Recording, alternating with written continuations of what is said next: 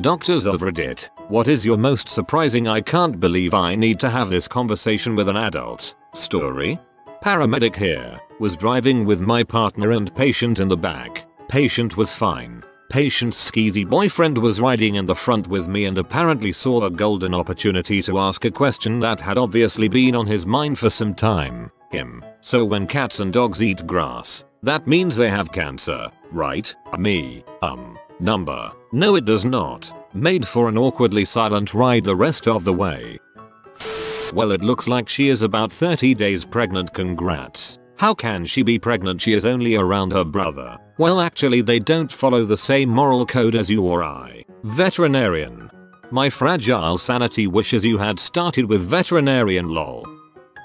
Not a doctor, yet, but in a tech for 2 years. Mum comes in with her baby plus two more older kids complains that the baby hasn't pooped in a while and won't stop crying. As I'm settling them in with one of the nurses, the baby is bawling, like opera singer lungs bawling. Suddenly mom whips out a white plastic shopping bag and sticks an end in the kid's mouth. Says this is the only way she stops crying. Nurse and I share a look and immediately order an emergency x-ray on the kid's stomach. Turns out she had ingested a good amount of these bags and it was blocking up in her stomach. Big deal potentially life-threatening. When we confront the mom about her baby feeding habits her only words of defense are well I checked all over the bag and I couldn't find anything that said non-edible.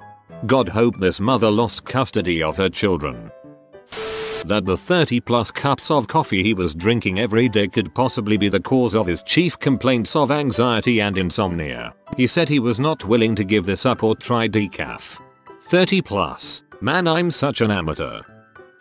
This will be a long story. When I was an internal medicine resident I came across a very nice 50 year old Dominican lady. She was well mannered but one could tell she was not the sharpest tool in the shed. As I was prepping her chart for our first visit, I noticed that she'd been seen by every single digestive disease MD in our hospital system. Not only that, she'd had every single procedure in the book, ranging from endoscopies up both holes and culminating in an exploratory laparotomy you open up to basically look inside you when we have no clue what's going on. All of this because for years she had one single complaint. She reported severe gnawing pain in her stomach. At this point I should mention that she was Spanish speaking only. Not only that she had a very heavy Dominican accent, and I was the first Hispanic doctor to ever see her. My first language is Spanish and even I had difficulty understanding her. So she comes in and after exchanging some first time pleasantries I politely ask her how she's doing. Sure enough although she was smiling and said she felt well she pointed at her belly and said it was biting again, and asked for the cream to kill it. At this point I got intrigued.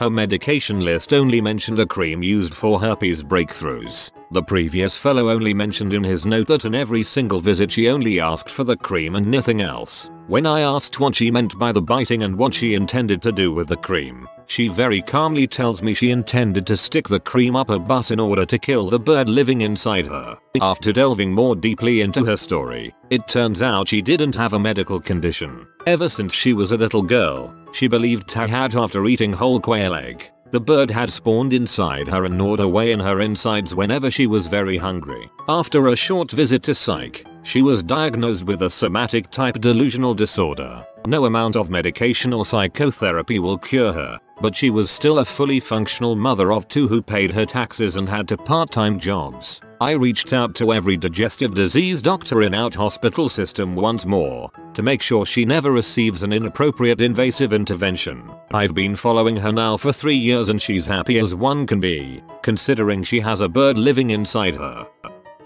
While in dental school my friend pulled out several bombed out, technical term, teeth on her adult male. After the procedure was finished and post-op instructions were given, the man asked, so when should I expect my new teeth to grow and he was serious.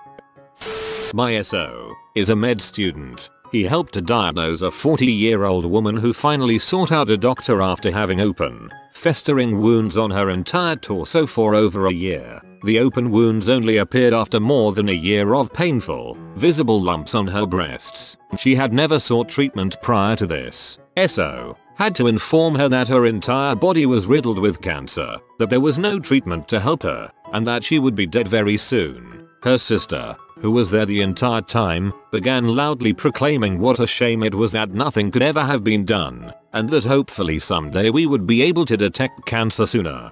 So, watched the doctor explain that pretty much any other woman in the country would have gotten effective treatment at the first sign of the lumps. This was during Breast Cancer Awareness Month. I saw a patient who was concerned because she was still lactating, despite the fact that she stopped breastfeeding her twins two years ago. She said, Sometimes I wake up in the middle of the night and find my husband sucking on the breasts. He says he's trying to drain the milk for me. I had to explain to her that breastfeeding her husband will lead to continued lactation. As a veterinarian, I had a 10 minute conversation with an owner explaining which side was the dog's left side medical assistance to a cataract surgeon here. If you freaking sleep in your contact lenses long enough, they will fuse to your eyes and will need surgery to have them removed. Yes, you can go blind from this. For the love of God, don't sleep in your contact lenses. Got placed doing a rotation in the orthopedic floor of a big hospital in a rural area of Southern California. I was doing my rounds and saw a patient out of bed and walking around the floor following a knee replacement. She had a cane in her hand that she was carrying like as a soldier would carry a rifle. I asked what she was doing and what she thought the cane was for. She replied she thought the cane was for pushing people out of her way since she's now handicapped and it wasn't to help her walk on her post-op knee. This is the first response that genuinely made me laugh out loud. I can just imagine some cranky old woman swatting people out of her way. Talking to the children pose of nursing home residents about vaccines. Most will just sign the flu shot form. Some believe it will give their 90 some grandpappy autism. Pharmacist, but comment still relates. Had a lady call and complaining that their husband's Viagra wasn't working. I then went on to explain to the patient's wife that in order for the medication to work, the patient needed some sort of stimulation. The lady just screamed aloud Emmy and then hung up the phone. Still my favorite Viagra story. Client brings in her dog for a tick she tried to burn off. Looking, I see it's a nipple and tell her this. She says but he's a boy. How can he have nipples I say mom. Your husband has nipples. Blank stare. Then light bulb moment for her. My friend is a student doctor and is on placement at a small town doctor's office. She had a 70ish year old woman come in with complaints of a small but painless growth that was visible at the back of her throat. Turns out it took her 70 years to notice her uvula. Not a doctor, but I regularly have people come in for eye examinations because when I take my glasses off things are blurry. Often these aren't passing comments during the exam, but the main reason for their visit to the clinic.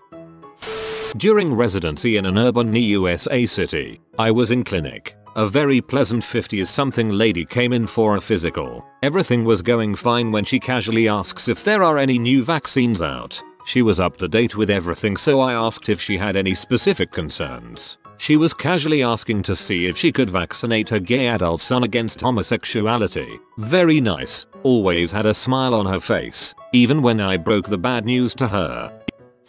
Patient comes to her, 19 year old male, I'm getting his history. Why are you here today? Every morning when I wake up my stomach hurts. How long has it been hurting? All my life. Well what is different today that's made you come here? My girlfriend doesn't think that is normal. More questions. Exam by a physician. Lab tests. The abdominal pain always goes away after he eats. Always. He wakes up hungry. He thinks it is pain. Not a doctor, but I'm a former special forces medic and I treated indigenous populations in Iraq, Afghanistan and several other Middle Eastern countries. Some of the patients and their families asked incredible things of me, such as putting brains back inside after an explosion took half the head off. But I have never been as incredulous as when I had to explain wrong hole to a very old tribal elder who was wondering why he couldn't father any children. My mom tells it so much better, but here's a try. My mom was the head nurse at a clinic here in Houston in the 80s. She worked for an old World War II doctor that had gone into private practice, old school GP, when he returned back to the States. Well one afternoon she told me that they had a patient come in that was running a high fever and was complaining of pain in her pelvic area. Mum also tells me that there was a stench coming from the woman's lap that could only be described as enough to gag a maggot off a meat wagon. She begins to interview the patient who told her that her and her boyfriend had been sexually active and that she has been in pain since. She thought that the woman may have contracted an STD and asked her to undress and wait for the doctor to examine her. The doctor arrives and closes the door, only to reopen it a few seconds later mentioning about the need for fresh air. The doctor noticed that there was a vaginal discharge began to question the patient about her sex life. Was it protected, non-protected, etc. According to mom, the patient told her no doc, we always use a rubber. The doctor looked down then noticed that there was a small rubber band extending from the woman's vagina. But the doctor reached in with his gloved hand and pulled it out.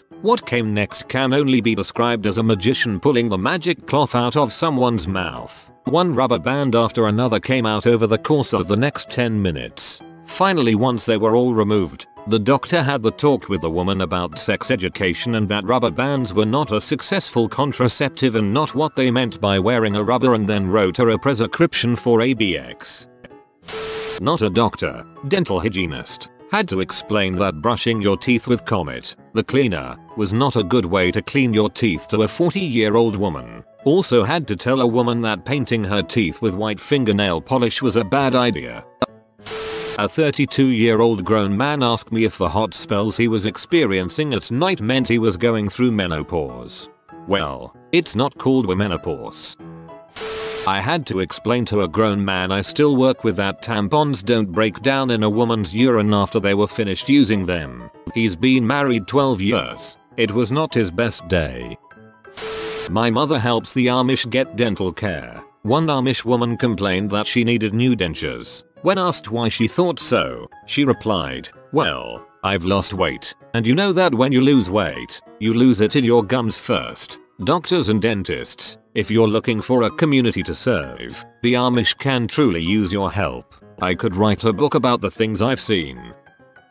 I was a newly minted graduate with fresh and optimistic views on my life as a doctor. Second week and came this old lady and her very dysfunctional family. They would argue and complain about everything. From the food, the nurses they didn't like and every single medical decision we made. She was very very sick so her management was just as complicated. She had several children and they all didn't like one another and would not talk to one another. Each time we would have to explain a long update to every single one of them because they are entitled to hear it from a doctor. One of these stories being sitting down and explaining why you don't give Gatorade as an IV drip. They did not understand why we were giving salt water to her. Conversation with her son. Look she likes Gatorade. She is drinking it so why can't you give it to her through her drip? We explain why. Son frowns. But it's isotonic. We explain again. Yes but Gatorade has more electrolytes. We explain again. Salt water just seems to be too cheap.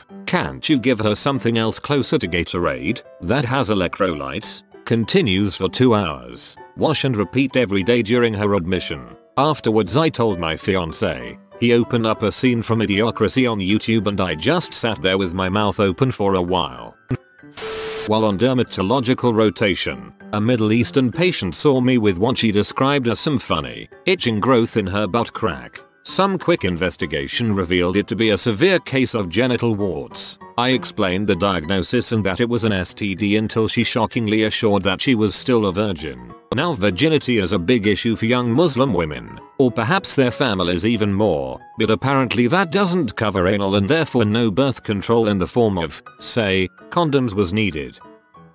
EMT here, I had a grown adult try to explain to Emmy that someone else crap his pants. Got toned out for finger pain at a homeless shelter at 0200. We get there and the guy jumps in the truck with very mild swelling to the tip of his right index finger. Here's how the conversation went. Me. So what happened? Patient. I smoked some M and then I fell asleep in my bunk and I woke up next to my bunk and my finger hurt and there was poop. Me. There was poop? Did you fall in poop? Patient. No no. Like in my pants. Me. So, you pooped your pants? Patient, no, it wasn't me, me. So let me get this straight. You smoked M, took a nap, rolled out of bed in your sleep, hurt your finger, and someone else came along and crap in your pants before you woke up? Patient, yeah, it wasn't me.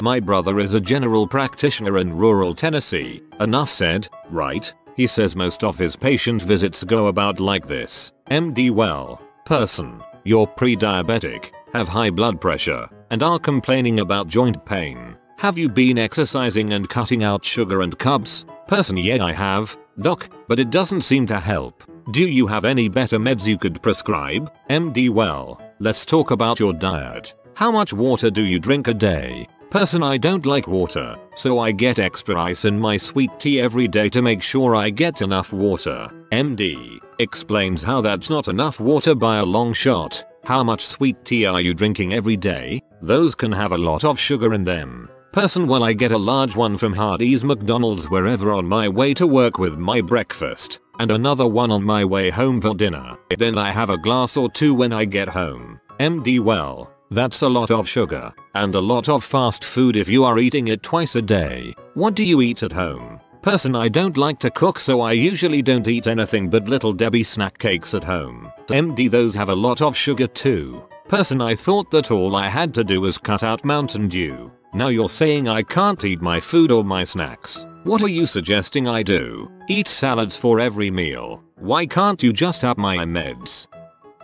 I'm not a doctor, but my mom doesn't have a good grasp on the reproductive system so I had to be the one to explain that. 1. Getting my tubes removed did not remove my ability to get a period. 2. That we women have a urethra, a vagina, and an anus. Babies do not come from the urethra. This one was strange because she had me and my sister so. 3. That when you neuter a dog, you just remove the balls, not the red rocket too. China Taiwan's sex ed was severely lacking, so my mom, until she was in her 20s believed that if you sat on a seat still warm on the bus that a guy sat in before you, you can get pregnant. If you kissed a guy, you could get pregnant. I'm still finding out, years later, misconceptions that my poor mother has about reproduction and explaining things to her.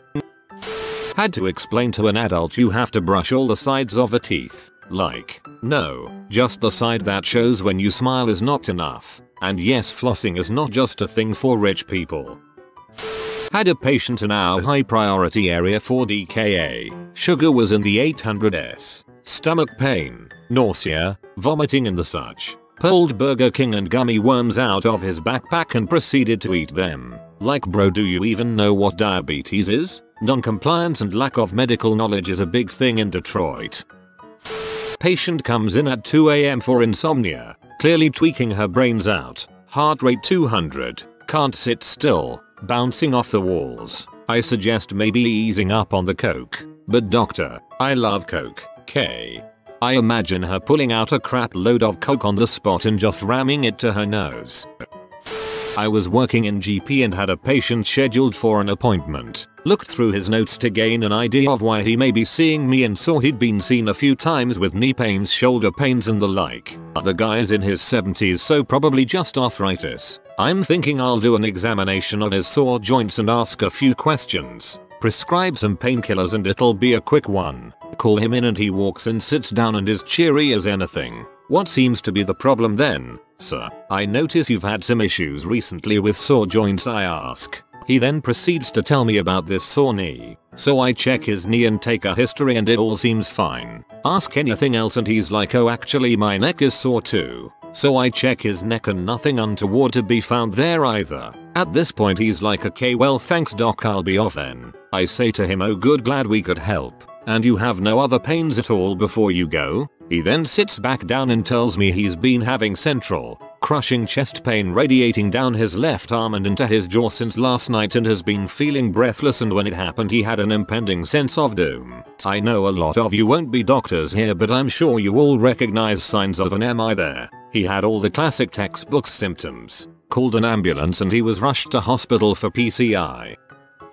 Both my parents are doctors. My dad told me about an extremely religious male patient who was concerned about his nocturnal emissions. He saw it as a offense to God and wanted to know what he could do to stop it. My dad's response, well, it's gotta go somewhere guy. Doctors of Reddit, What was your how the FCK did you survive that moment? Second year during my neurosurgery residency, woman got shot execution style, kneel down on both knees, shot in the back of the head, think Boondock Saints style, by her husband, who then shot himself. In the other patient was barely breathing and had a hemoglobin of 5.0. There was so much scatter from the metal artifact on the CT of her head that we didn't know what we were getting into, but we brought her emergently to the OR to do an exploratory craniectomy. We made incision and took off a flap of this thick, mangled skull where she was shot in the back of her head. Her shards of skull tore a massive hole in her superior sagittal sinus, big brain vein, that we had to repair. We found some small fragments of bullet but no big slug. When I went back to repair the portion of skull we cut out to access her brain, I found the bullet embedded in her skull. As we get older, our skull thickens but this girl was young. She had an abnormally thick portion of her skull in the area where she was shot. After the case was over I looked back at her CT and it was a miraculous abnormality. The patient ended up surviving with no neurological deficits. She is a completely normal and high functioning individual in society at this time. This strange thickened portion of her skull saved her life. If she would have been shot anywhere else in her head at point blank, she would have undoubtedly lost her life. I'm not one for fate or higher power but this story always gives me goosebumps. Humans are like an iPhone. Sometimes they can survive a 10 foot drop, and sometimes they break when they get tossed on the bed. Not a doctor, but I'm a firefighter so I see my fair share of trauma. About a year ago, we responded to a call that went out as an individual who had a car fall on his face. He was hotboxing in his garage while working underneath his car that was supported by scissor jacks. Something to note, the car didn't have any tires on the front end where he was working. One of the scissor jacks had slipped out from underneath the car, and the whole weight of the car landed directly onto the side of his head with no tires to stop the fall. We got our rubber airbags out, lifted the car, pulled him out, and got him onto a stretcher. After taking 2,500 pounds of weight to the head, he somehow got out of it with a fractured orbital and a laceration on his cheek. I hate Scissor Jack, never trusted them. This is also why Jack stands exist first year of my core surgical training I was on call in a very small rural hospital. This hospital only had two doctors on at night, me and a medical trainee, and no emergency doctors. It's about 11 pm and this guy, 26 comes in after being in a fight, blood pumping from his nose which was clearly fractured. I suspected he probably had other facial fractures underneath but he was awake and talking to me, otherwise seemed fine. I spent about 45 minutes trying to stop the blood, using all sorts of nose packs, pressure, even tried a catheter balloon to try and tamponade it. Nothing was working, and he was starting to go into shock, and I was basically crapping myself at this stage. Based on his vitals I'd estimated he'd lost almost 1.5 liters of blood so far. Nearest proper surgical hospital was 45 minutes away, and my consultant was at home, 25 minutes from the hospital. Eventually I got 4 bags of oneg from the lab. The lab tech happened to be in, which was very lucky, put this guy in the back of an ambulance, still bleeding, and sent him blue light to the surgical center in the city. I Got a phone call about 3 hours later from a surgeon at the other hospital, saying he had brought the patient to theater and been able to control the situation. He was probably 15 minutes from dead. If you come into that kind of small hospital with that much bleeding, all stats say you're in trouble. The guy was very lucky his friends got him in so quickly. That's the worst thing about working in a rural hospital. Not only are you understaffed but people in rural communities always have the most inventive gnarliest injuries. Well done for saving his life. I was a surgical resident in a small town hospital. We got paged to see a patient for a speared piece of driftwood through the leg. We were thinking it was a nicked femoral artery and discussing if this poor kid needed amputation when we saw him he was standing on the skewered leg taking a pee. Turns out the wood missed every single one of the vital vessels and no fracture, just muscular damage. Junior doc on the trauma team. Dos Torres fly open to reveal a man carrying a second blood-soaked man in his arms. Get him onto a stretcher and it is clear he has gunshot wound to his chest and has gone into cardiac arrest. Asystole. Chest compressions start and within minutes the A&E consultant is performing an open thoracotomy in order to start cardiac massage. A cardiothoracics join us quickly and get to work on the heart. A hole in the right ventricle is identified and plugged with a Foley catheter. All the while bag after bag of ONEG is being pushed into the patient in an attempt to replace everything that had pumped out of his heart and into his thoracic cavity. 15-20 mins into this the impossible happens. We get ROSC. The heart starts beating in its own. Patient is taken directly to theater where the hole is definitively repaired and bilateral chest drains are inserted to drain the blood filling his lungs technically the pleural space. Somehow his heart continued beating and after a couple weeks on it too, the patient is returned to the trauma ward awakened alert. Several weeks, some mild hypoxic brain injury, and a gnarly chest scar later and he walks off the ward with his dad, the man who carried him in. ETA definition of ROSC. That's like something out of a TV series. I had a patient that attempted suicide with an AR-15 under the chin put a hole in the soft tissues of the floor of his mouth, in his tongue, in his hard palate, and then split the hemispheres of his brain perfectly, finally popping out the top of his skull. He recovered fully. Emergency nurse once had a guy come in who had been cutting a tree with a chainsaw when it hit a knot in the wood and kicked up into his neck. Finished cutting the tree because he knew his wife would make him get rid of the chainsaw. Put a towel on it and drove himself to the hospital. CT showed no vascular damage. Simple washout and home the next day. One of the paramedics who saw him said to his patient that's a real emergency. Why don't we ever get those?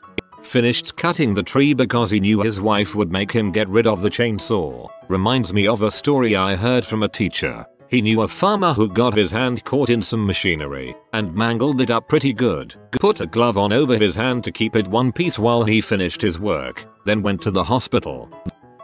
Every time I think this question, the answer is usually M. One guy got hit in the face hard enough to let air into his brain cavity and was being an absoluter, which seemed to be normal for him, and literally asked got any M when I offered some pain relief. To my understanding, he recovered without any need for surgery. The human body is both scarily resilient and scarily fragile.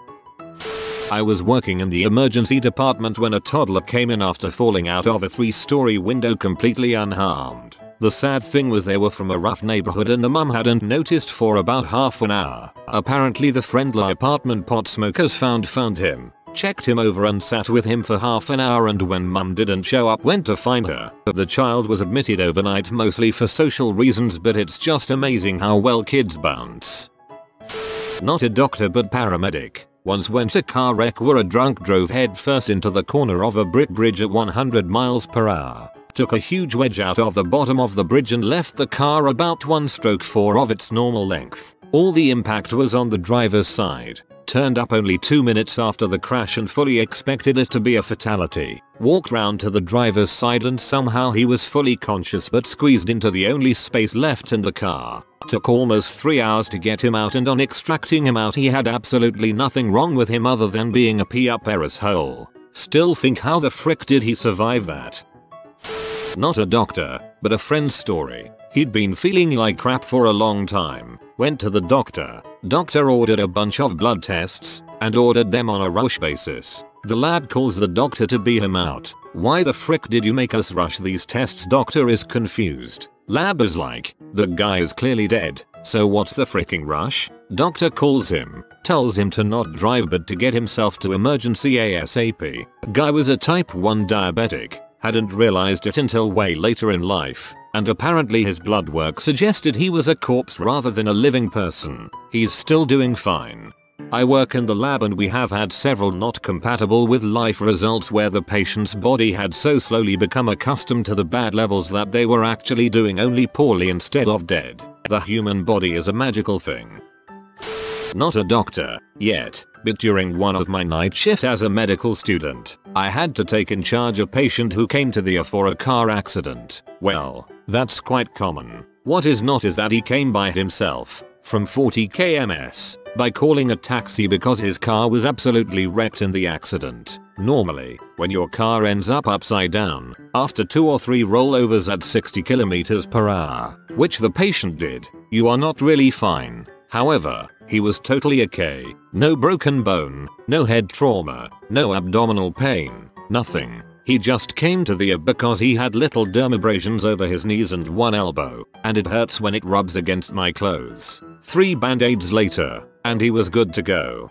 Gotta be the seatbelt that saved him. Eater, airbags probably too.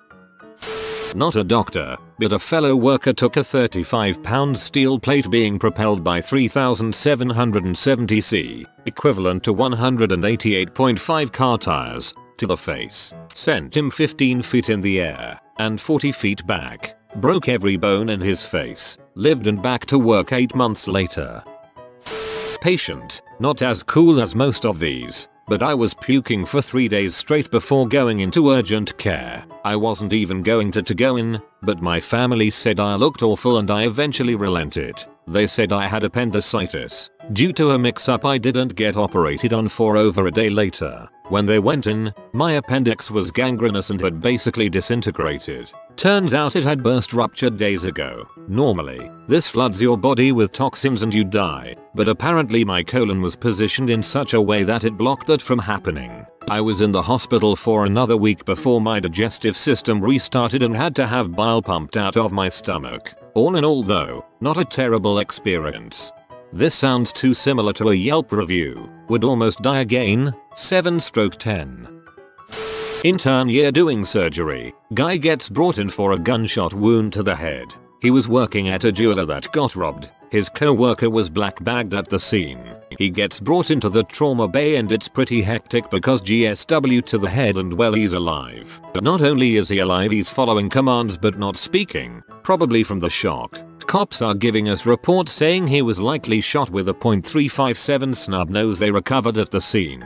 So we do our primary and secondary survey and all this guy has is a single wood wound to his left frontal scalp where the bullet went in. So the team hasn't really seen something like this before. Sure a GSW to the head wasn't new but this guy was otherwise completely fine. The decision was made to get a quick frontal and late head x-ray to verify where the bullet was before proceeding to CT. Well we don't see any bullet on the films. There's no bullet on the board or bed or within the patient's clothes. The man was shot in the head and the bullet bounced off his skull. CT showed no fracture even. It was wild. Never seen anything like that since.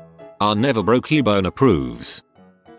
I'm a researcher rather than a doctor, but during my undergrad my anatomy tutor told us of an interesting case study. A woman in the same department had been in a car accident going a considerable speed. The seatbelt failed to lock and her face flew into the steering wheel. Her mouth, nose, cheekbones and forehead were shattered, yet she suffered no brain damage. Apparently, the front of her face acted as a crumple zone and the fact her skull shattered meant the cranial swelling didn't cause any damage because the brain had more space to swell into. She needed significant reconstructive surgery, but a year later she and my tutor teamed up in a research project. They used her case as the basis for looking into new ways to treat severe head injuries and developed new treatment protocols depending on where the skull had taken damage. They basically found out that, if you're going to have a head injury, try and get hit in the face and not the temples because you're much more likely to survive. My sister had a similar accident. She was drunk and fell from a third story balcony. She caught her foot on the way down almost tearing it off, and face planted the ground. Her face absorbed the impact, her ankle is fused, and her face is back to normal, except for a slightly fatter nose. Psych patients definitely win this one. This schizophrenic woman thought she was an angel and had wings, went off of her meds and tried jumping out of the fourth floor balcony. Half her bones were shattered, her skull and jaw were fractured, which had to be wired, but she miraculously survived. All her words come out weird and there are scars all over her body but she's alive. Shen still thinks she's an angel. Farmer was driving a tractor with one of those huge rolls of hay on the back. The hay was not secured correctly so when he stopped it rolled forward over him and bent him in half. All he had was two compression fractures in his lumbar region. Not a doctor, but a patient. My husband took me to the local hospital's ED for ongoing severe lower abdominal pain. I figured uterus. The nurses took blood, hooked me up to an IV, and gave me a little pain medicine. A nurse I hadn't yet seen came into the ED room looking very nervous and told me I was being admitted as my platelet count was 6000. My husband and I were like, what? The nurse was very surprised I had no symptoms like bruising, nosebleeds, and blood in urine or stool. He looked very concerned and the medical team rushed to get me into a room. The only symptoms I had were fatigue and heavy menstrual flow. Both symptoms had been my companions since I started my period at 11 years old. The next morning a hematologist came to my room and explained my diagnosis and that it was entirely idiopathic. He told me I was lucky to not have had crazy internal bleeding, bleeding into my brain or a stroke. He prescribed a regimen of 60 milligrams of prednisone daily, which I was on for a year and a half. Not recommended. It was awful. The idiopathic thrombocytopenia made no progress. It was finally decided to proceed with a splenectomy. Recovery was brutal. Having a huge incision down the length of your abdomen makes everyday tasks very difficult and painful. Almost 5 years later, my platelet count is normal. My period can go to heck in a handbasket, though. Not a doctor but I've seen a guy walk into a holding a band-aid over his eye saying he needs someone to pull the bullet out. My mind was freaking blown. To get shot and walk it off. An elderly lady had a massive brain hemorrhage, was transferred to terminal care to the health center and patient ward I was working at as the doctor. Her prognosis was that she would die at any moment. There was no treatment. She was comatose, but breathing spontaneously through a tracheotomy tube. A week passed, with no medications, no food, no fluids, still alive. Then she began to stir, came conscious, delirious, but conscious. So we started IV, fluids, appropriate medications, and eventually physiotherapy. After a few months she moved into the local nursing home, lived for a few years. She had profound dementia, but was able to move. I wonder if the air moisturizing device in the room, because of the tracheotomy, kept her hydrated, because a healthy person would generally not survive a week without fluids.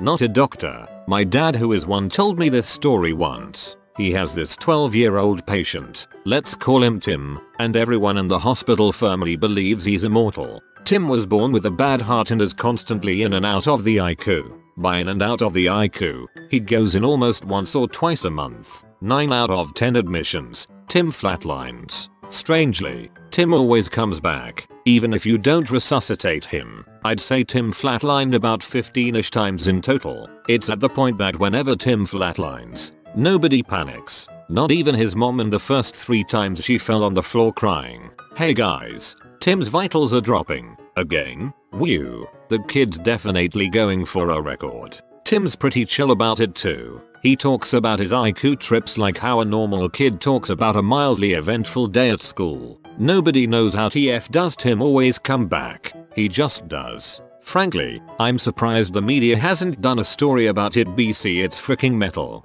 Okay, now I want biannual updates on Tim. Tim reached the big 3-0 today Tim's had a good year and the ICU has been awfully quiet without his resilient spirit.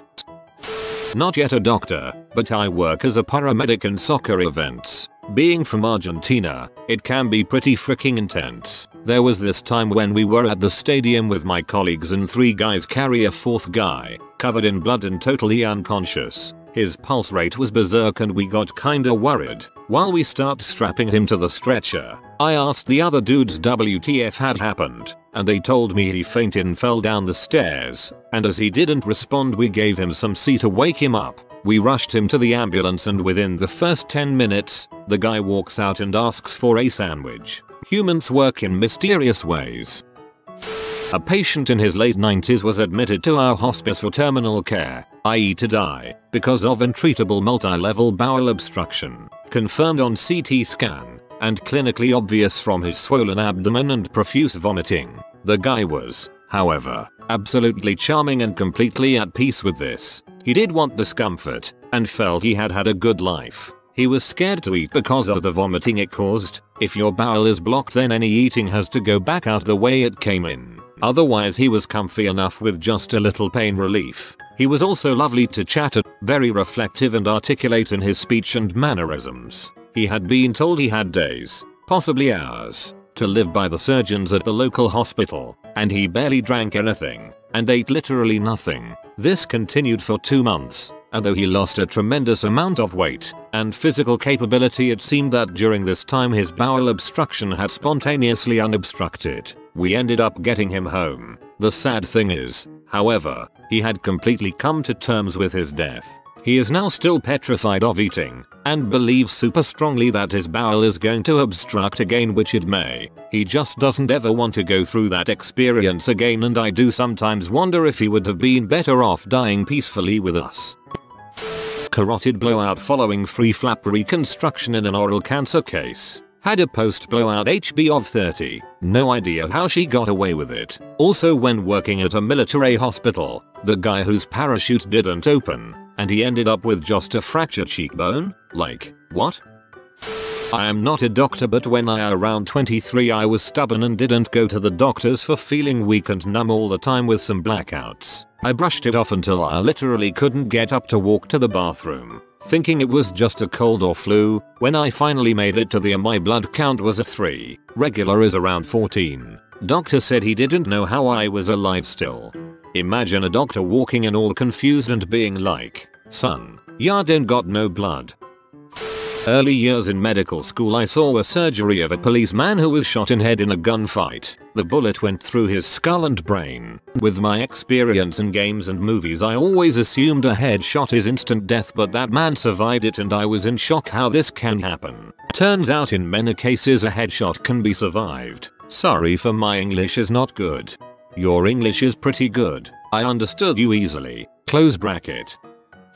Emergency physician. I had a patient that was shot 9 times, 3 bullets to the head. He didn't call an ambulance. He brought himself to the emergency department. And by that I mean he drove himself to the emergency department. The three bullets in his head somehow didn't enter the cranium so his brain was just fine. One of them entered his cheek and went underneath the skin to swing all the way around to the back of his head. But he was discharged the same day. Not a doctor so sorry but till contribute. I will never ever forget a guy coming into the emergency ward with a freaking serrated combat knife sticking directly out of the top of his head. He was walking himself in. To this day I cannot comprehend that. I read this one where this chick tripped over while cooking or something then started experiencing a bad headache. She drove to the emergency room and found out that she had a knife sticking out of her head. Doctors and nurses of Reddit, have you ever witnessed a couple have a child that was obviously not the father's? What happened? Had two women deliver on the same unit, same baby daddy, he would go back and forth between rooms. That's wild. A hospital where I was a med student had a baby born with hydrops, which is where a baby gets two bad copies of a red blood cell gene, one from each parent. Baby died shortly after birth. Parents came in for genetic counseling and testing revealed the woman's husband did not carry the alpha thalassemia gene. The couple asked what was the chance another baby of theirs would have this condition the doctors were honest and told them 0%. They left it at that. Not a doctor, but my wife grew up in a really small town, but wasn't born there. When she got her first crush on a boy and told her best friend, the friend was like did you talk to your mom yet? Apparently, adultery was so widespread in this area. It was common practice for girls to talk to their mom about crushes and who the crush's parents were so they didn't end up dating their half sibling.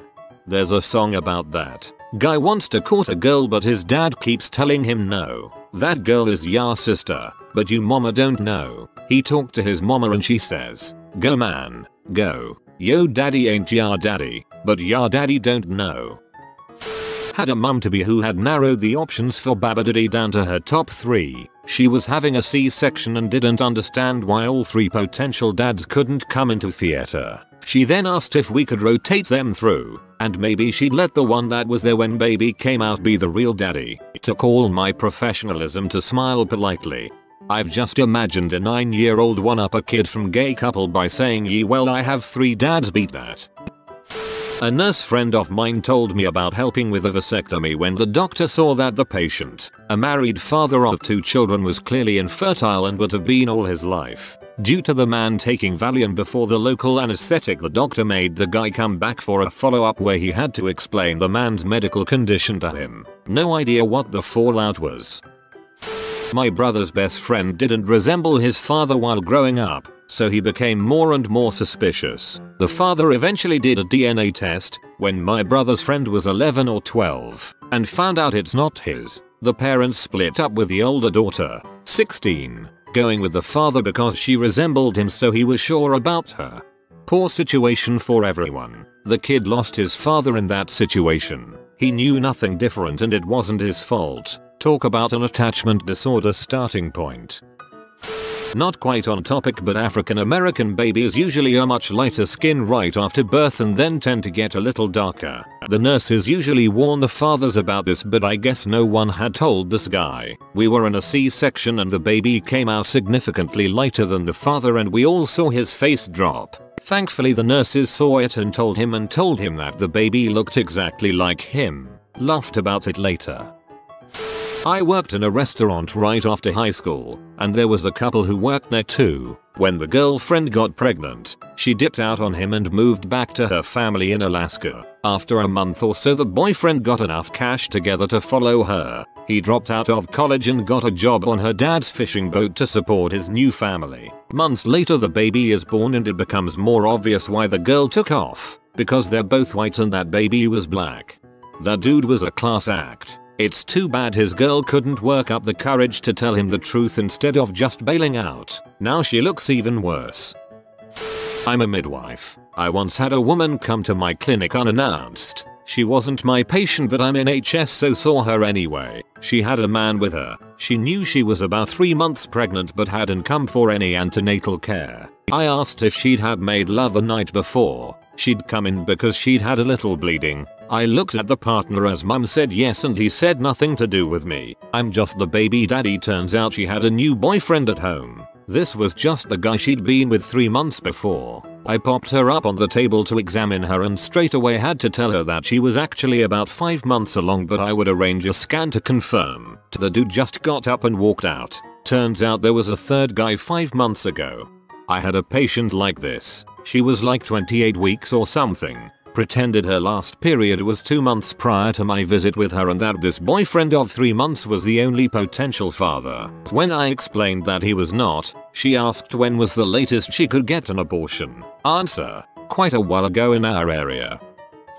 My mum's friend has 3 sons to her ex-husband. Two of them look like him. The second one looks a lot like the man she left her husband for. But of course they didn't get together until after she divorced her husband. Doesn't help how her new partner very clearly has a favorite kid. First husband's child support bill most certainly includes the third child though. I had a doctor that thought my boy wasn't mine because he came out blonde with blue eyes. I'm half native with dark hair dark green eyes and my dad is a blonde blue green eyed dude. My wife is a very dark brunette and her dad is a blonde, blue green eyed dude. It got grandfathered in, he is tested genetically as mine. But the doctor was very, very iffy. Doctor here. I had a newborn patient who needed blood donation for surgery and was a rare type, AB. Family stepped in to get tested and see if anyone could donate blood for his procedure. Supposed. Dad tests O, which would make it impossible for him to have an AB child, since the child gets the A from one parent and the B from the other. Someone else in the family donated and everything worked out in the end. But I wonder if this dad ever found out he wasn't the biological father. When I was a student nurse there was this one couple, mother was Asian and husband was white. The husband had a brother, African American. He is adopted from what I remember. The mother had been in labor for around 12 hours and they were very excited to see their baby. I remember the father had been pacing my entire shift back and forth in the waiting room. When it came time to mount the mother on the table he asked the doctor if he could be in the room. He was grinning like a madman. It was a very positive energy. You could almost get completely absorbed by it. The doctor was a nice guy he let us get him some throwaway scrubs and let him stay in the room. All in all the actual birthing process was pretty standard. However, when the baby came out then came the rough part. He was a normal healthy half African American boy, around 3 kilograms. I just looked at the baby then looked at the father and watched his face go from joy to puzzlement to horror in around 10 seconds. The mother called out for her child and the doctor being all business cut and suctioned the baby. I'm pretty sure at that moment the father broke because he sort of just stepped back and kept saying what the frick under his breath. I didn't get to see much of them for the next 2 hours but I was there when the mother was brought to her room. Her husband and his brother were there as well and she was talking to them. From what I saw she was trying to console her husband and his brother was trying to hug him. The husband kind of just kept shrugging off his brother's arms and crying into his hands. It was a really tough thing to see, but all in all it wasn't really as dramatic as you'd expect. Frick that breaks my heart. Not a doctor but I worked in adoptions. A couple showed up wanting to discuss adoption. She was so obviously pregnant. The catcher, she and he both insisted that they had never fricked, only heavy petting and they assumed some semen had traveled through clothing. I don't know what happened because they never came back. Technically she can get pregnant without penetration, but it's very difficult. I'm a doctor, and the story actually involved my colleague. So I'm friends with this guy who we'll call Nut in med school. We're not close friends, but we have some common friends. And we shared some rotations together. And this girl we'll name Mary. Mary was already married at the time and had a 3 year old daughter. Nut and Mary were close. But Mary got held back because Mary got pregnant and therefore had to temporarily stop studying. During that time, me and Nut became interns, and Nut began hanging out often with another girl named Belle. Nut and Belle weren't that close or physical with each other, so it came as a surprise when two months before internship ended, we found out that Belle was pregnant. Turns out that the two were frick buddies the entire time. Anyway, they graduated, and eventually Belle gave birth to a baby boy, who looked like Nut's miniature clone. It was as if the baby got nothing out of the mother, at all. Some of us even joked that Nutseed was just that strong that he doesn't create offspring, he creates clones. Now, Mary eventually caught up with her studies and entered junior internship so she got to rotate with some of us. And when she showed us the picture of her baby boy, he also looked exactly like Nut. Note that we knew what Mary's husband looked like and what Mary's daughter looked like. Her son looked just like Nut. So much that if you placed her son beside Belle's, you could easily mistake them as twins. We did just that. Not sure what happened to them now. I moved to a nearby hospital, but I never really talked to any of the three. But last I heard from Nuts and my mutual friend, Nuts' partner, he claimed he won't marry her, and son were left in a city around 4 hours away. Belle worked there. Mary's husband, daughter, and son were in the US. Mary's husband was studying aeronautics or SMTH similar, and Nut and Mary were on duty the same day at the same hospital. If you ever find out what happened to them please update so we can bust this nut. Our NICU does not allow paternity testing to be done inpatient and some of our babies stay with us for 3-6 months depending on their gestation. We've had a few long and awkward waits for babies to get discharged before we could find out who the dads are. The two most recent cases were babies born at 23 and 25 week gestations both kids with 3 possible dads. None of the potential dads stayed involved in the 3 plus month hospital stay waiting to find out if they're the father. It's so awkward for the staff. I was a nurse for a urologic surgeon, so lots of vasectomies. Guy came in pee off that he had gotten his wife pregnant after his vas. He had never originally followed up to make sure his swimmers were dead. Doc had him leave a sample to look under the microscope, went back to the exam room and told him his VAS had been successful. Guy just walked out.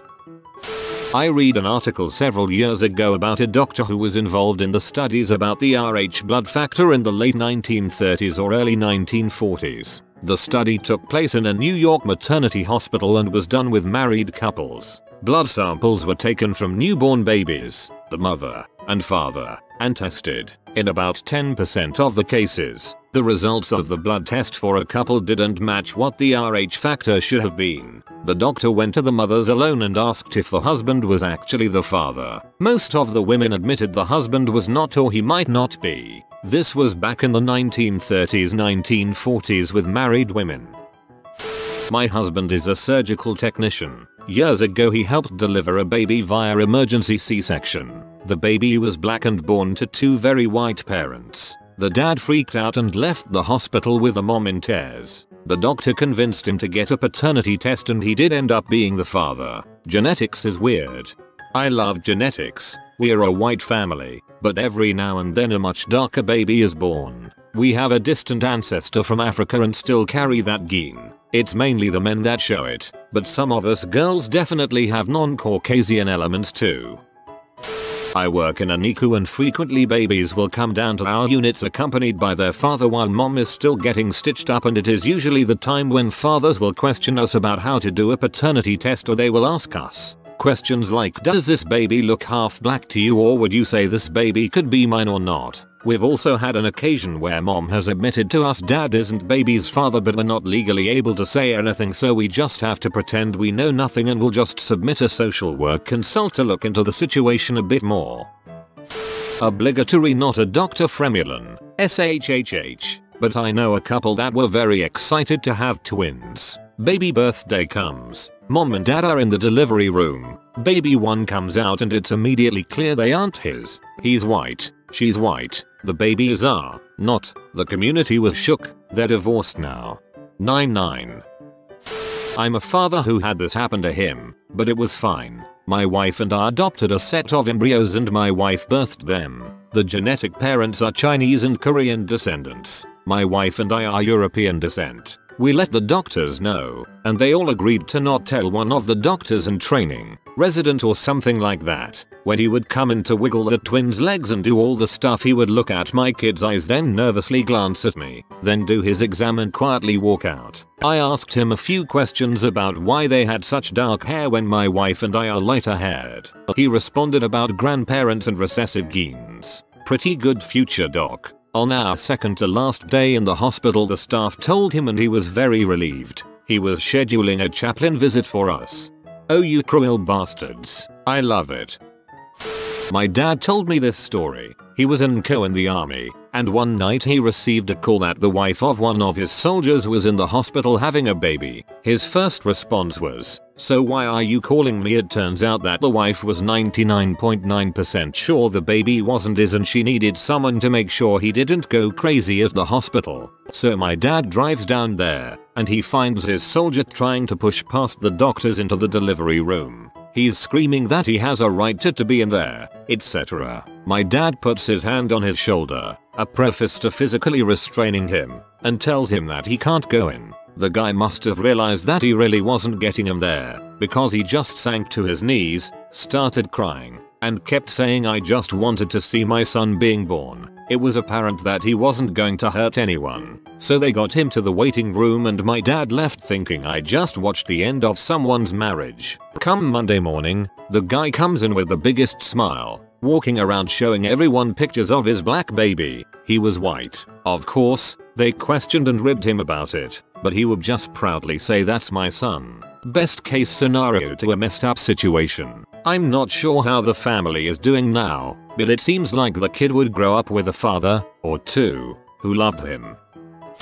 Okay, I have two stories that aren't exactly what the OP asked but still applicable. 1. A woman came to the O with abdominal pain. She was there with her girlfriend. We ran a pregnancy test per protocol. Don't ever trust a patient when it comes to physical relationship history. So I got to break the news to this lesbian couple that one of them was unexpectedly pregnant. And, yes, I tried to discreetly tell the patient the news alone, but she insisted anything I had to say should be done so in front of her girlfriend. Okay, but I don't think that was the prize she was expecting. Baby daddy showed up. Commotion ensued.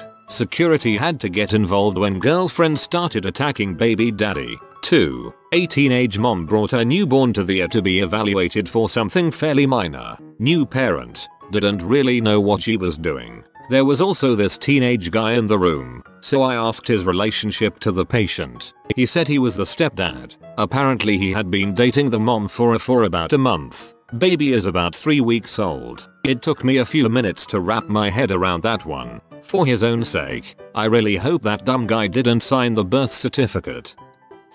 This happened to me actually. No one said anything to me about their suspicions. Two years later it comes out that my daughter wasn't biologically mine. By that time I only saw her as my daughter and nothing else. After months of depression and confusion I worked it out where I left the mom and I adopted the little girl. She's raised as my daughter and I don't see her any other way. A bigger man than most. Bravo sir. My cousin is white, brown hair, green eyes. Her hubby looks black, dark skin hair eyes. Soon before the delivery of their son, the nurse says ooh I love caramel colored skin. She was very quiet when a pale white baby, blonde hair and blue eyes popped out. Dot. My cousin's hubby's father was also born blonde hair blue eyes. He takes after his father's father lol. Yeah genetics are weird and stuff, but it's kinda weird to say that you love caramel colored skin. A friend of mine had been hearing rumors that his wife was cheating on him. He refused to believe them until he found out one day that there was trait that is passed from parents to children. I wanna say cleft chin but it's not important. Anyways he went and got a DNA test done as he and his wife did not have the trait and it turns out it wasn't his kid. They tested their other two kids and he was only the father of the middle child the first and third child were from two different guys. He flipped out and punted her out the house and she in turn drained his business account and ghosted away while he started divorce proceedings. He lost almost everything but saved his business by changing the name and some other stuff so that it can't be used in the divorce settlement. He managed to keep the dogs which he tried to get custody of. The house was totally in his name so he was able to keep that too. He was really bad for a while stopped eating and crap but he is looking much better now and he has got a new girlfriend and seems happy again. The two older kids still pop to see him as they are over 18 but he hasn't seen the youngest as she is still a child. My cousin has dark skin, like our entire family is pastel white, but he looks Hispanic. It was a joke for a long time in my family, including between he and his dad, about his dad not being his real father, like they'd call each other, alleged father and alleged son. Anyway, my aunt and uncle got into the whole ancestry.com thing like 10 years ago and turns out my aunts, who married into our family, great grandfather was black. She was pastel white like us, but apparently her mom had darker skin too but just looked southern Italian, which she also was. Maybe not related, but sort of a funny story. This is exactly my family. We are all pastel white but my brother was born with dark hair and very very tan. He is definitely my father's son. We have a couple cousins that are the same way, aunts and uncles too. Was a postpartum nurse for several years. I had several dads say the baby wasn't theirs because the baby wasn't black enough and she must have been with a white boy behind his back. It takes a few days for the baby's pigment to darken. What I was taught by a senior nurse was that when you look at the baby's testicles if it's a boy, it will tell you how dark the pigment of their skin will be. But you could tell these men were just looking for any excuse to ditch out on the baby. Very sad. Just checked and can confirm that my skin tone of my testicles match the rest of my body. What is the worst case of I know better than my doctor you've ever heard of? Working at a supplement store years ago I had a woman come in asking about vitamin B17. She said her daughter had cancer and was taking her off of chemo despite her doctors pleading with her not to. Some friend of hers claimed B17 was a miracle vitamin they don't want you to know about and can cure just about anything. I told her she should listen to her doctors. She told me to frick off. For those who don't know, vitamin B17 isn't a vitamin. It's a compound called amygdalin and eating it will give you cyanide poisoning. I'm a nurse. My patient's family member was telling everyone that the doctor was an idiot because, and I quote, what the frick do the kidneys have to do with the bladder? SMH. I had some parents trip out when their kid with a sore throat was later found to also have an ear infection. How did he come in with one infection and end up with another? They went on and on about the terrible food we serve and how dirty the hospital must be, not realizing an infection in the throat has a direct pathway to reach the ear. Old man I knew always had a band-aid on his nose. He had a cancerous growth on it and he would cut it off himself. Would always say, all the doc will do is cut it off. I can do that myself and save $200. Guess who died when the cancer spread elsewhere? Some cancers will be triggered to grow rapidly and out of control if they aren't completely removed.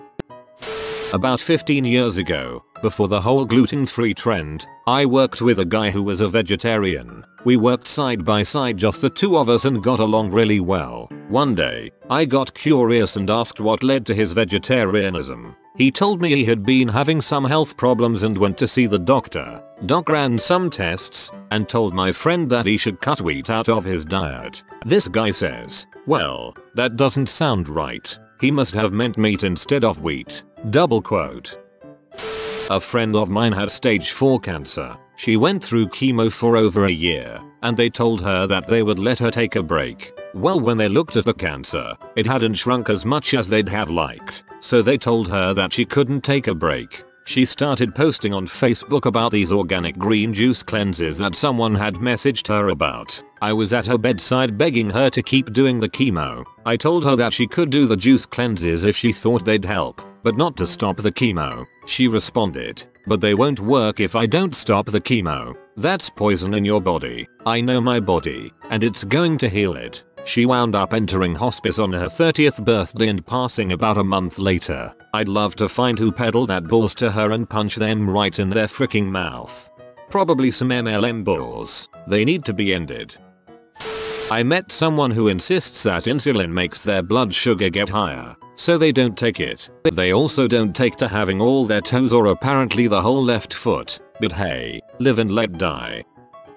My father was a stubborn bastard and was adamant about not following doctor's orders. Long time smoker, drinker, etc. So dear old father goes in and has a mole excised from his dong. Oh, biopsy comes back and it's not malignant. Great. Problem. He didn't follow the doctor's order on how to take care of it after the fact. Gangrene. Yep. They lopped it off. I only found out about that in my late teens. It was a mind-shattering reveal from my mother and older sister.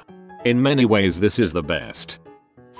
When I was in 7th grade I hurt my pinky finger playing softball, but my dad being the assistant coach that he has told me I just jammed it. I told him I think I did more than that since my finger was completely numb yet in excruciating pain. Like I picked up the softball after it happened and it felt like there was a hole in the ball where my finger was supposed to be. Disregarding everything I was sobbing to him he decided to pull me finger since it was jammed. For the next couple months I continued to play softball. Thank god for icy hot and Advil. Where my dad said maybe it wasn't jammed since it still hurts you probably just got a bone bruise. Eventually my finger also developed a very solid bump on the side of my joint. Still there BTW, and the pain never really went away. When softball season ended we finally went to the doctor and had x-rays taken. When the doctor saw them he was amazed I still played since my bone was completely shattered into at least 6 piece. He said he couldn't give an exact number because of the healing and the angle of the x-rays. The bump on my finger was a calcium buildup from the healing which could have been avoided if I had gone to the doctors when it happened. The only good thing was that I didn't need to have my finger rebroken to fix the placement of any of the fragments since my dad pulled it initially. Go to love coach dads.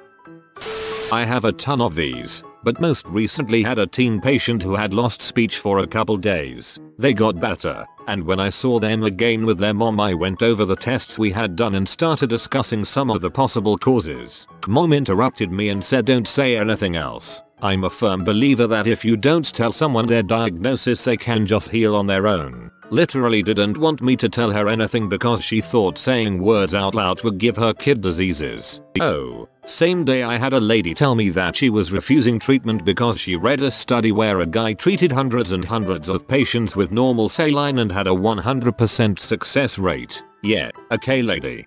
I know someone with a master's degree who believes her friend the massage therapist cures people with AIDS seriously massages, teas, enemas and crystals and meditation no more AIDS I palmed so hard I nearly broke my nose. My sister refused a surgery that would have removed her uterus, cervix, and part of her bowel or bladder, I forget, thus getting rid of her cervical cancer because what man would love me this way she left behind 4 kids under the age of 18, the youngest being 4. That's really freaking sad. I manage social media for a public health agency. All our immunization vaccine related posts have been getting swarmed by anti-vaxxers lately. No medical training and anecdotal evidence and cherry picked data equals we know better than science. They've now branched out to hit some of our other posts too. Breastfeeding promotion, cancer, HPV, etc. And it's getting to the point where I just want to give up. Which I guess is their goal. Because they certainly aren't going to sway anyone with their dozens of long-winded comments on a single post. You fricking keep up the good fight and don't let up. With all the disinformation spreading about you are playing a big part in helping to shine a light through the BS and educating the upcoming generations. I had a patient with stage 2 bladder cancer, young man, in his 40s. He needed to have his bladder removed but he didn't want to. Instead, he had the medicinal healer at the commune he lived in do some herbal therapies and dietary adjustment. He was dead within a year from a fairly curable disease. This story is pretty common. I've had another patient go to Mexico for non-FDA approved treatments. They don't usually do very well and they usually regret it. I have to bite my tongue when I see them back with much worse disease. Friend of mine sees way too many of these cases on a daily basis, but the worst one so far has to be this lady whose child was born premature, so her baby was rather small to begin with. The doctors do their usual thing, gives her advice on childcare and everything, and she comes in a week later saying her kid was sick, not sure why. Friend was appalled to find out that her baby had barely put on any weight since birth, and immediately asked her what in the world had she been been feeding the kid. Woman says, oh I figured since he was so tiny, he didn't need to eat that much, so I've been sticking to about an ounce of milk per meal. Seriously, woman. I don't know how the child's doing now but I can only hope he is well. A family with 7 kids, the oldest was barely 18 and the youngest too. Their father died of cancer, didn't do chemo or anything. Then their mother got cancer and decided essential oils would cure it. Left all of the kids behind to basically be raised by their sister or split up. My mother believes that if you make food from scratch then it's healthier for you. For instance, she thinks that making a chocolate cake from scratch, including milling her own flour, is a healthier alternative to a store-bought cake with identical ingredients. She is diabetic, her doctors have said in as many ways as they can think of that she has to reduce her carb intake and what my mother thinks is, gosh, maybe I should grow the sugarcane myself instead of buying sugar at the store and my blood work will finally be in the normal range. Her liver and pancreas have failed multiple times. Each time, the doctors managed to restore organ function by restricting her carb intake. They explain that she has to continue to follow a low carb diet at home. She does not, because she's convinced that she's already on a healthy diet. Rinse and repeat. My friend is treating her Lyme disease by going to a chiropractor, using essential oils, and getting massages, obviously against her doctor's advice. My mom tans in tanning beds constantly to the point where she looks like the outside of a baked potato. I told her one day she should stop because she can get skin cancer, and she told me that it's not possible with tanning beds. Worked for an ophthalmologist and had two distinct idiots at fittest category. The first one claimed she no longer had glaucoma, she had prayed it away. Her eye begged to differ. The other was scheduled for cataract surgery and he came in for his pre-op appointment, only to tell us he had spoken with God, and God told him he didn't need surgery. I told the doctor and she said sure cancel it, I don't feel like arguing with God today. Ha, had a patient last month who was 20 stroke 200 in his better seeing eye from giant cataracts and decided he didn't want cataract surgery because I prayed to God to give my sight back and I know he will. I told him to come back in 6 months and that he was not allowed to drive because he was still driving but only during the day to be safe.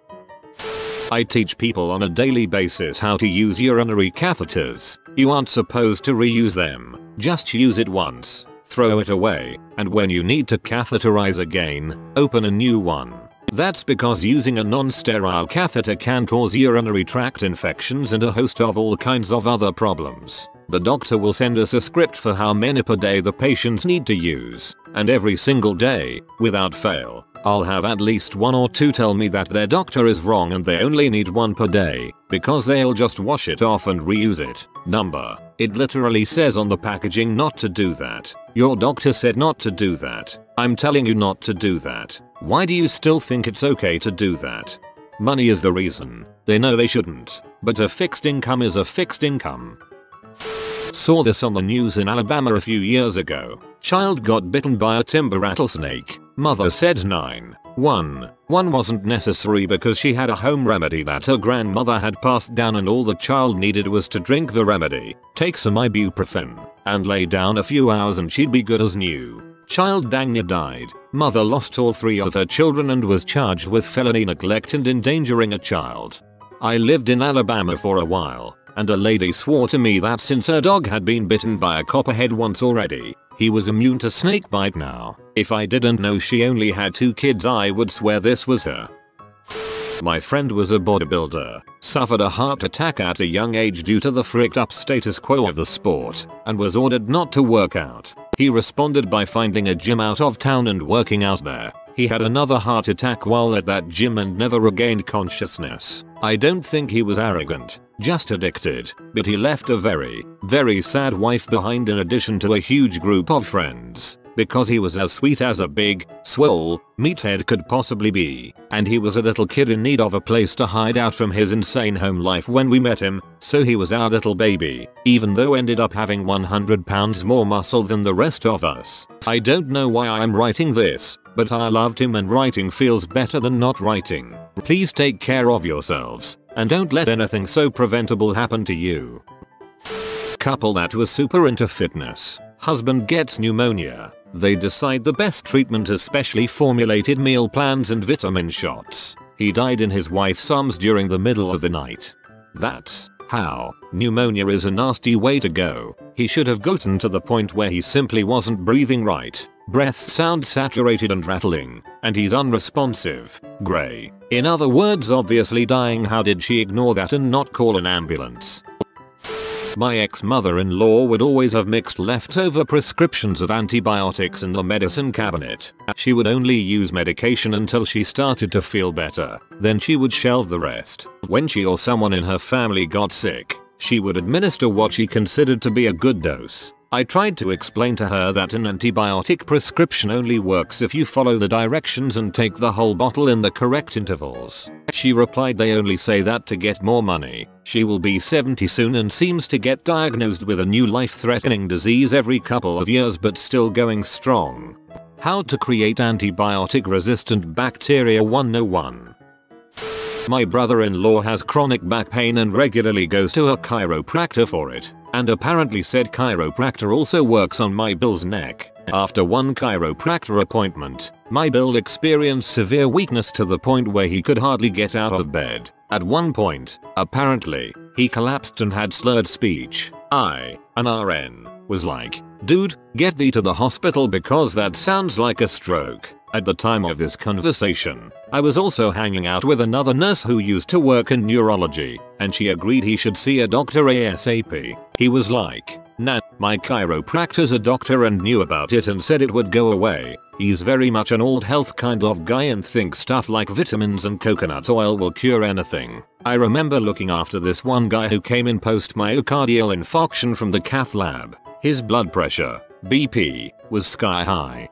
Patient denied any major health issues in the past and he only took supplements. I called the doctor about his BP and doctor ordered some antihypertensive pills. Before the patient took them, he ranted about big pharma and how drugs don't work and that, if he were just allowed to go home to take his usual herbs or whatever, he'd be fine. Judging by the fact that his BP refused to come down after the pills and required an IV nitroglycerine infusion, his ECG showed signs of left ventricular hypertrophy, typically caused by high BP over time, and the fact that he had a massive heart attack showed me that his heart problems had been brewing for a while and, as expected, his herbal supplements were doing squat. Dude, get thee to the hospital because that sounds like a stroke. That is an acceptable use of old and new English. Well that whole thing with Steve Jobs is pretty high up that list. The worst thing is he had the kind of pancreatic cancer that's actually treatable. He had a chance to save himself that 98% of people with his disease don't and he threw it away.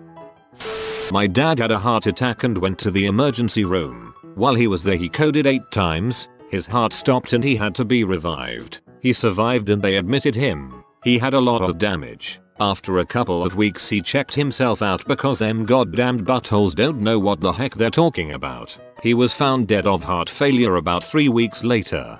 I'm sorry to hear this. This mentality is common where I grew up. A lot of older folks decided that they knew better than doctors who attended medical school for years and worked on patients for decades. Because the common sense they got on the bean farm apparently trumped the decades of experience their doctors had gained. Young bubbly mother I know was diagnosed with breast cancer. Tried alternative meds as promoted by her flaky girlfriends. Eventually she returned to the doctor who told her it was too advanced to do anything. She died leaving a little boy for her husband and extended family to care for. I still believe her friends contributed to her premature death. Not my doctor, by my mom's. My mother had a heart attack February of 2017. She was prescribed a couple medications such as beta blockers, etc. My aunt, who's against vaccinations, prescribed medications, and anything non-organic, tried to not only tell my mom the medications she was prescribed were the wrong ones, per a quick 10 minutes Wikipedia search, but also that my mom's heart attack must 100% have been health related despite multiple tests and the doctor telling her it was simply stress induced. I'd also like to add that we called my aunt immediately after the ambulance arrived to take my mom to the hospital, and she said she wasn't going to make the 40 minutes trip to the hospital unless it was serious. She has also done the same I know better than everyone bit in other health related situations, and she's the type of person you cannot disagree with because the conversation will go nowhere. Very aggravating to say the least. While talking with my OB and asking a ton of questions about my pregnancy, he told me a story. He was the on-call doc for a hospital and goes in after shift change from another on-call doc. Woman has been actively pushing for 3 hours. She has refused a C-section multiple times over because she's certain she can have the baby naturally. It turns out, baby was stuck and the pushing caused major brain damage to the baby. My doc tried to persuade her but she continued to refuse. Ended up having to do a C-section to retrieve the body. Women often have this overwhelming expectation of how their labor and birth is going to go, avoiding C-section and meds like the plague. The reality is, those things have saved many lives.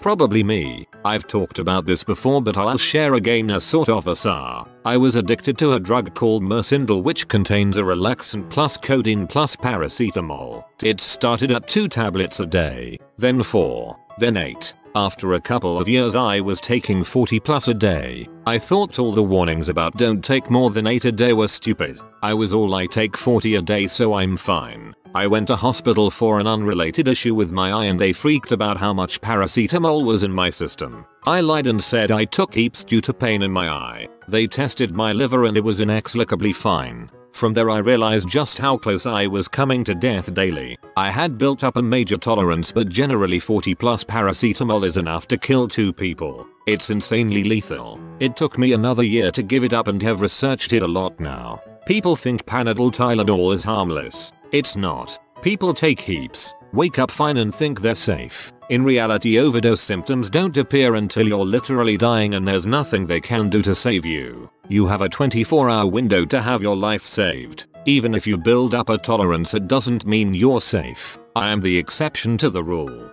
TL. DR. Was addicted to a drug that contained paracetamol. Thought warnings on the packet were stupid. They are not. Tylenol Panadol paracetamol or whatever name you know it as, it's insanely lethal. Read the packet instructions and do not deviate. You are not a doctor.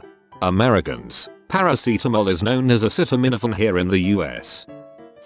Every person who has opted to treat a diagnosed condition with naturopathic medicine. I've diagnosed patients with cancer who have shunned modern treatments only to turn up months later with horrible stage IV disease asking for miracles. I'm all for taking herbal supplements to prevent disease, but when you're finally diagnosed with a condition, stroke, heart attack etc you need the prescription stuff. In the NW I frequently admit patients who seek emergent medical care for a condition only at discharge for them to say, yeah I'm going to go see a naturopathic doctor Aya. Frankly I'm bewildered that it's not considered unethical or illegal to advertise statistically scientifically unproven therapies to people. Had a guy keep coming in, three times, with a heart attack. We'd save him only for him to sign out of the hospital saying God will cure me why bother coming then. I had to finally call his pastor to convince him to stay and get all the right treatment. You have been visited by the magical sugar jar Puggo. He'll only share his sweetener if you comment Surga please, Mr. Papa. Thanks for watching. If you are new to the channel, you can subscribe. I publish new videos every day. Until then, check another video, or don't. Either way, have a great day you magnificent people.